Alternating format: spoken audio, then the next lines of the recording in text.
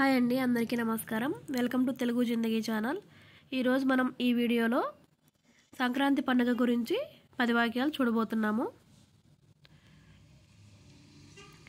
మన తెలుగు వాళ్ళందరికీ పెద్ద పండుగ అంటే వెంటనే గుర్తుకు వచ్చేది సంక్రాంతి పండుగనే చెప్పాలి.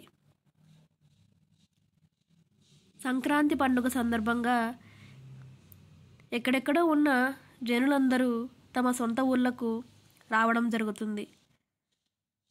సంక్రాంతి పండుగ సందర్భంగా ఎక్కడెక్కడో ఉన్న జనులందరూ తమ సొంత ఊళ్ళకు రావడం జరుగుతుంది. సంక్రాంతి అంటేనే ఒక సంబరం. సంక్రాంతి అంటేనే ఒక సంబరం. పిండి వంటలు పంట సిరులు ముత్యాల ముగ్గులు గొబ్బెమ్మలతో ఇల్లు అన్నీ కలకలలాడుతూ ఉంటాయి.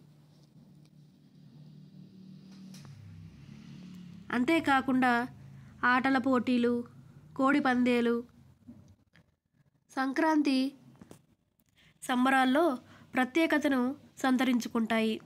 ఆటల పోటీలు కోడి పందాలు సంక్రాంతి సంబరాల్లో ప్రత్యేకతను సంతరించుకుంటాయి. సూర్యుడు మకర రాశిలో ప్రవేశించడమే పండగ వైభవం.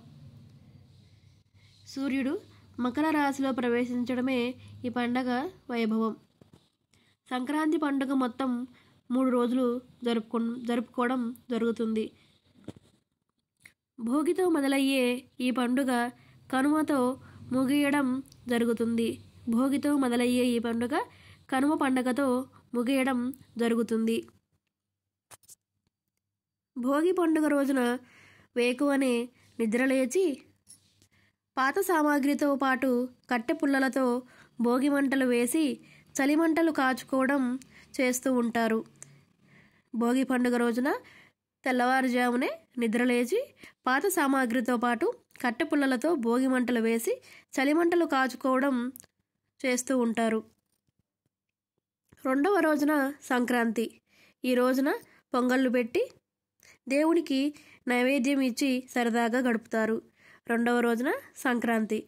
ఈ రోజున పొంగళ్ళు పెట్టి దేవుడికి నైవేద్యం ఇచ్చి సరదాగా గడుపుతారు. మూడవ రోజున కనుమ. మూడవ రోజున కనుమ పండుగ. ఈ రోజున మాంసాహార ప్రియులకు పండుగే అని చెప్పాలి. విందులతో ఊరంతా ఉల్లాసంగా ఉంటుంది.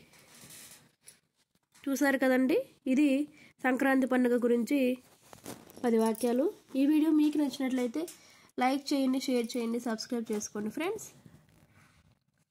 అందరికీ సంక్రాంతి పండుగ శుభాకాంక్షలు. Thank you for watching